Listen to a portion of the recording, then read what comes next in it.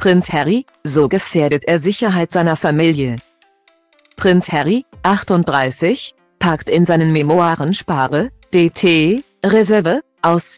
Detailliert legt er dar, in welchen Situationen er mit Mitgliedern seiner Familie, insbesondere Prinz William, 40, und König Charles, 74, aneinander geraten ist. Dabei gibt der Herzog von Sussex den Leser, ihnen auch einen Einblick in die Paläste. Beschreibt die Grundrisse der verschiedenen königlichen Residenzen. Dies sieht ein Experte als Gefährdung der Royal Family.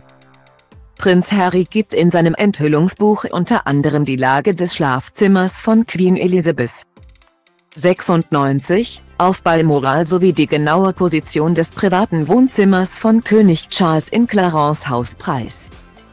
Guy Davis, der 50 Jahre lang bei der Polizei und im Sicherheitsdienst gearbeitet hat, hält dies für fahrlässig. Diese Enthüllungen beunruhigen mich sehr und werden wahrscheinlich auch das derzeitige Team von Prinz Harry beunruhigen. Sagt er gegenüber dem britischen Telegraph. Denn nur Anna würde diese Art von Informationen preisgeben, zumal es schon immer Leute gegeben hat, die versucht haben, sich Zugang zu Teilen der königlichen Paläste zu verschaffen.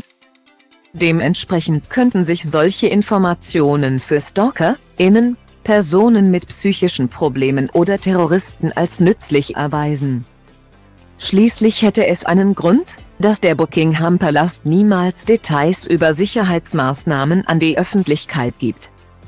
Prinz Harry berichtet in seinem Buch von dem Moment, als Herzogin Meghan, 41, Charles und Königin Camilla, 75, zum ersten Mal vorgestellt wurde, als sie an der Tür des Clarence-Haus von einem Butler und einem Hausverwalter begrüßt wurden. Sie führten uns den langen Korridor hinunter, vorbei an den großen Gemälden und vergoldeten Spiegeln.